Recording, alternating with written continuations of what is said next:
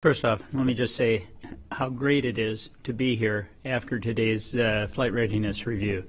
Uh, Jim did a great job leading the team through uh, a lot of complex topics, and uh, we are go for launch, which is absolutely outstanding. This day has been a long time coming.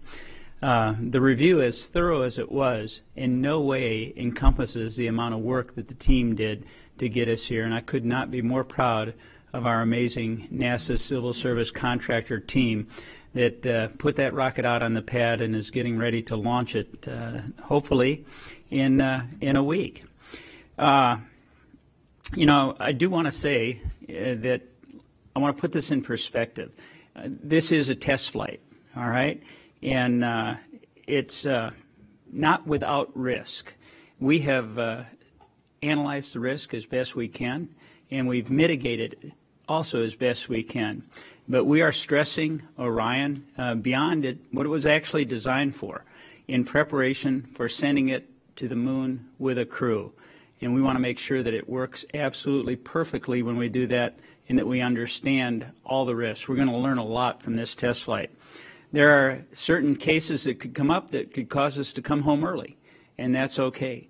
We uh, have contingencies in place and the main objective that we really want to get out of this test flight, of course, is that stressing that heat shield, getting a test of that new Orion heat shield at lunar reentry velocities. So I just want to say I'm really looking forward to this. We have worked really hard to get here.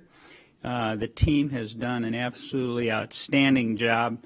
And uh, as difficult as it is, we're up to the challenge, and I'm really looking forward to a successful test flight.